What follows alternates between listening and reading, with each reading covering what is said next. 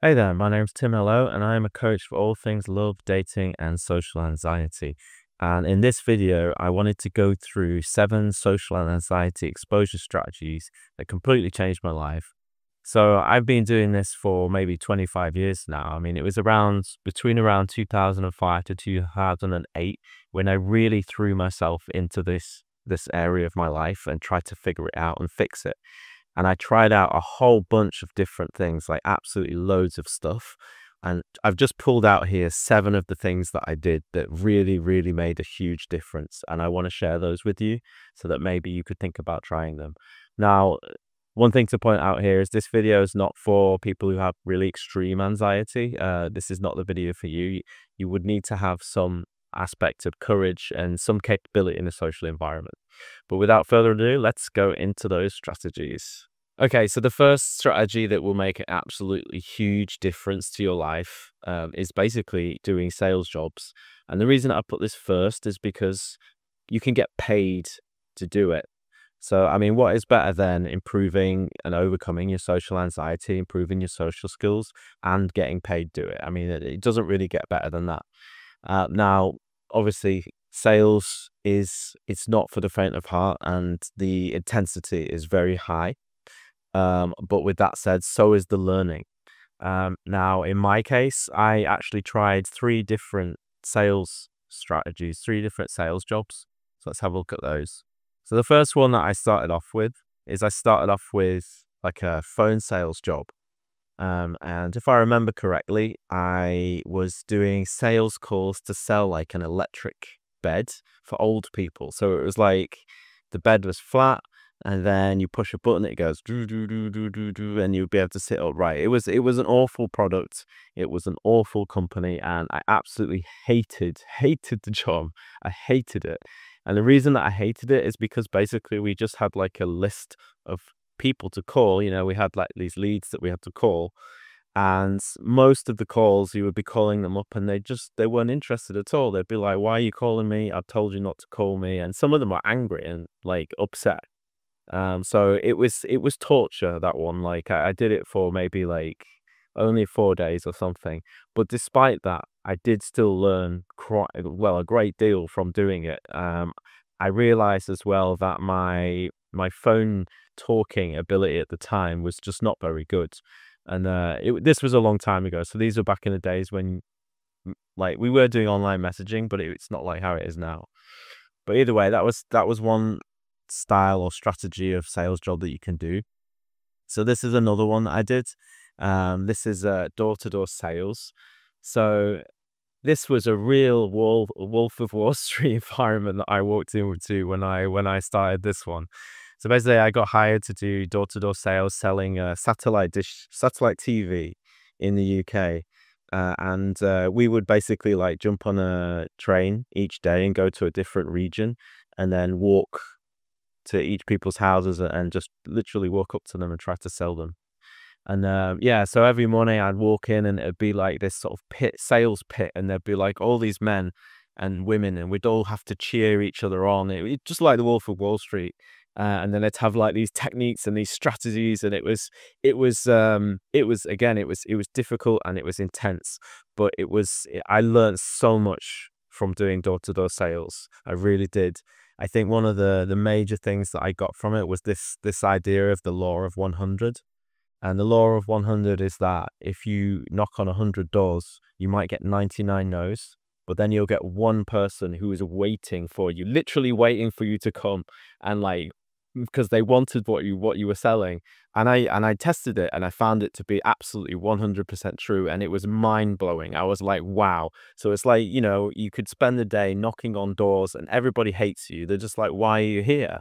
And then i would meet this one person and they'd be like come in come in i've been waiting for you to come. And i'd be like this is just i just had no words. It was incredible and it, it really transformed the way i see social interactions and also, you know, as I've said here, it, requires a lot of endurance and a lot of persistence. And a lot of the salespeople were very sort of stressed, like type A people, and uh, there, a lot of them were smokers. And I, I remember actually I got quite stressed because I remember one day I was um, in the early days I was I walked into a store and they had a nurse there and she took my blood pressure and she told me that I needed to go to the hospital because my blood pressure was so high. And I was like, no, I don't need to go to the hospital. It's just this this job. Like I've only just started and it's like I'm out of my league. Uh, but yeah, so anyway, door to door sales, like again, you can get paid doing this and it's it's definitely something that I got a lot from and I would recommend having a go at. So the next one that I did, um, this was a charity fundraising. So basically, I would uh, I would stand in the street. Uh, we would travel between cities in the UK, and I think I did this in like 2008. We literally all get in a bus together and we go stay in a city, and then in the daytime we go into the town centre and we talk just to people over and over and over and over again. I literally talked to 400 people a day doing this job. 400 people every single day, like in my job. And uh, the fundraising that I was doing was I was raising money for homeless shelters of homeless people. So it was like a really good cause. Um, but yeah, I mean, this was really up my alley because I'd already spent like a couple of years before that doing like um, dating approaching. Um, so uh, I really wanted to do this, and uh, yeah, it was it really lived up to it. It was again, it was not easy though. Um, and and the main thing about this that I learned was was about energy, managing your energy. Because if you're in the street all day, and you have to somehow provide energy to people and keep them engaged. And that was uh, understanding that learning how much how important high energy is if you want to have a good interaction was was just mind-blowing and life-changing for me like absolutely life-changing. But more than that there was just so many things that i got from this job. So and i only actually did it for about three weeks because it was just too hard. It was it was like really intense uh, and i remember the the actual owner of the company did like a mystery shop on me and um, he had a conversation with me and he admitted to me, you know, like a lot of people don't stay in this unless they really genuinely want to help homeless people. And for me, like I wanted to do it because it's good, but I wanted to do it for me as well. And and I and again, I just got so much out of it. It was incredible, like absolutely life changing. And so I recommend you do something like for sure. Like after I remember after I did this job, I I could go to bars and, and approach women and it was absolutely no problem whatsoever. It was it was just not a big deal anymore after that. And the thing about these these uh, strategies is they last. They last forever. You know, I did this stuff like twenty, almost twenty years ago now, and it's literally lasted me. These skills, they I've never really had to work on it again too much. I mean, I I have done some top ups, as you'll see here. So like, I went onto all the stuff. So this is the next one that I recommend: solo travel. The first time I left the country was 2011 and I came to Asia. Uh, and back then, you know, there was no smartphones, there wasn't any maps. I had no clue what I was doing. Like, and I remember that I got off the plane and couldn't find my hotel, and it was terrifying, absolutely terrifying. And I fell asleep on a bench because I was so exhausted because I couldn't find my hotel. And then I woke up to an army guy pointing a rifle in my face, going, You get up, get up. And I'm like, Holy shit, I've never seen a gun in my life, you know, from the UK. So it was terrifying. And uh, but that really started like my my solo channel travel journey. And um, yeah, I spent two months away that time. And in that time, I was alone for most of it, actually. But I did meet a few people. But just being in a different environment was completely and utterly life changing and it gave me space to look at my life and i ended up starting businesses from that and it, again it just I, set up i wrote a plan like a 10 year plan while i was there and it, again like i ended up carrying it out because i had the time and the space to do it. So that that's one thing i would say about solo travel is you need to go somewhere where you don't speak the language where where it's not a native english language. Now thailand i mean especially today like it's not really a thing but definitely where their primary language is not english that's much better and uh, again, like I think you should go for two months. I, I used to go for two months, and then yeah, I just started extending it longer and longer and longer, and then eventually I just I'm I'm now at the point where I'm not really living in the UK, um, because it just it changed my perspective on everything, my entire world, entire entire reality. So this one, um, now obviously this is more dating focused, um, and again, like these are all fairly intense, but they they're intense for a reason, and that's that they will literally, completely, and utterly transform your life for the better forever, like for the rest of your life. And this is no exception. You know, I, I've got two um, two times I did this on my YouTube channel. You can look this up. Once I did it on my own in uh, Manchester in the UK, and then when I did that challenge, I met a girl and while I was on that challenge, and then we went to Vietnam and then I did it with her in Vietnam. so it's just absolutely utterly mental. Um, but yeah, the, the, thing about the 30 day challenge, and I really see nobody doing it, but it, it is really one of the easiest, simplest, cost effective ways to completely change your life. So basically, you just dedicate two hours of your day to go into the local town center. Now, obviously, you do need to live uh, near a populated area, uh, but two hours every day minimum, and you just try to approach people. And there's certain techniques and practices that you can do for that. But generally, what happens, what I find is the first two days are really difficult because you're hitting and facing this wall uh, where you're just really anxious and you're just really conscious about people looking at you. But then after those two days, because you've made a 30 day commitment, you're like, okay, I have to last the entire three de- 30 days. And then it, eventually, after two days, it falls away. And then, then you just get into the work. And again, it's just absolutely life changing. I recommend everybody try it. Uh, so the next one, um, so these days, this is not so popular, but I did one. I did one like 2008, I think it was. And really, I didn't need to do it because I'd been doing so much of my own at the time anyway. And those, these were the sort of glory days of this kind of thing anyway. But I decided I would go to London and do one of these boot camps with a professional because I wanted to see if it was any different than what I was doing. And what I found actually is that it wasn't really that different. It was just a lot more intense. Uh, but I think again, like you know, as I say, a lot of these are intense. But I think being able to survive and thrive under that intensity is really important in social settings. Um, but that's why, again, I say like these these are not for beginners. These exercises, these strategies. If you have severe anxiety and you can't even leave the house, can't even talk to someone, then obviously you're not going to do this stuff. Um, and even on the bootcamp that I was on, there was a guy that he ran away, even though he'd paid like two thousand dollars at the time or something. Uh, but yeah, like I think the dating bootcamp is good because especially if you if you have problems with talking to women and the anxiety around talking to women. And what I what I got from it really was just like that I could just that just I could just walk up to people again and again and again and again, and it was fine. I think I did this one before I did my charity fundraising, so it, it did give me something quite a lot there. Yeah.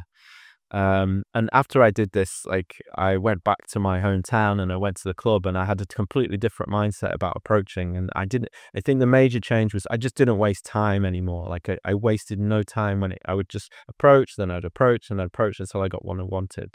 And uh, yeah, I mean, these days I don't really approach in bars. Um, but uh, I think I've got it in here. This one, yes. Um, yeah, that's the last one. So I don't actually cover going to bars in here, but I mean, it's it's really like it's really incorporating this. But I think the problem with doing bars on your own is it's a bit of a waste of time. I think doing a boot camp is better. So yeah, so the next one, like coaching and voluntary services. Like for me, I found like coaching people in general is absolutely really, really good for my social skills, for my social anxiety.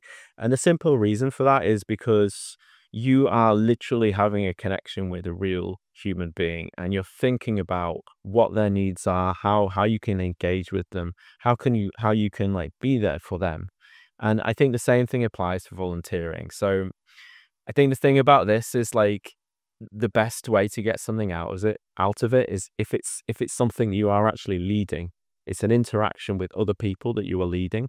So in my case, you know, I did martial arts and then I used to run a Tai Chi class. I would teach people martial arts. I was also a life coach. I was also a professional therapist. Uh, and now I'm doing this. Um, but yeah, so it, you could be other things. You could be a sports coach, a football coach. It could be anything where you're actually leading a group of people. Um, but just that that that actual activity of leading and, and coaching or just giving a service to people is absolutely huge for your social skills. It's huge for your social anxiety because it's the connection. It's the connection that you create with other people and learning to create that creation, that, that connection is, is where the anxiety goes away. It's where it dissipates because you realize that you you connect with yourself and your inner humanity and the expression of that to other people. So yeah, definitely rec- recommend something like that. Now again, similar thing here, like starting a YouTube channel or a TikTok channel or doing go to Toastmasters meetings. I mean, that one sounds a bit different, but really, again, it's kind of similar. It's that you, in order to have a successful YouTube channel or a TikTok channel, in order to get attention, then you have to really put yourself in the mind of other people. And you might think that that's not good for social anxiety, but actually it really is because you've also got to be on the camera. You've got to be okay being on the camera. And when you start off, you just really wouldn't and you have no idea what you're doing and you can't be yourself. Um, but it's, it's, and it takes work. It's really hard. It's not easy running a channel or anything like that. It takes a lot of effort and time and thinking. But yeah, it will have a huge effect on your on your social anxiety, a huge effect on your social skills. Absolutely guaranteed, I promise you. So yeah, consider doing that. Uh, and yeah, the last one uh, is is going to nightclubs for dancing, not for dating, not for pickup. So what I mean by this simply is I don't think a lot of people do this anymore, and it's just so important. Like, granted, even I don't really do it anymore, and I wish I I wish I did because I used to do it all the time. I used to go to nightclubs. I used to love music. I used to just go and dance in the the dance clubs. Uh, on a regular basis every weekend, and I think uh, it was it was last year, I, or maybe the year before. I went to a festival and they had like dub music, which is quite big in the UK, just big bass and everything, and you can just lose yourself. Now, everyone around me was on drugs, but I wasn't. I wasn't on anything, but I didn't need to be because I was just allowed myself to just get lost in the music and the fact that I was surrounded by people. It just didn't matter because I was not there for the people. I was there to connect with myself, to connect with the environment, and just listen and harmonize. And that's what music does for you. I think the action of moving is so incredibly important for social anxiety. I don't think people make this connection enough that movement, physical movement, frees your mind. It frees up your mind. It frees up your anxiety. So, yeah, definitely, if you're not going out dancing in your life, if it's not a part of your life, do make it a part of your life. I should, I, I want to follow this advice myself now. I want to go, it's a Friday night here. I'm going to go after this. I should do it. Um, Okay, so those are seven strategies. Um, and I hope some of them were useful. Please do try some of them. Please do them because I know some of them seem full on, but I, I guarantee these are the top things that I've learned over the last oh, the things out of the things I've done over the last 20 almost 20 years. Those seven completely radically changed everything for me. Completely and utterly like you cannot go back. Uh, and you should you should try that. You should try it for sure. And if you need help doing it, then you can get on a call with me. We can talk about any of the anxiety issues that you have, any dating issues you have, any performance issues you have, sexuality and energy. I cover all of it. But also, I want you to subscribe to my channel. I've started making videos again and I'm going to do more of them. So you need to be in tune with me because I'm going to be on your ass, making sure that you're getting better like me. I want us to grow together. Anyway, thank you for this. I'll see you on the next one.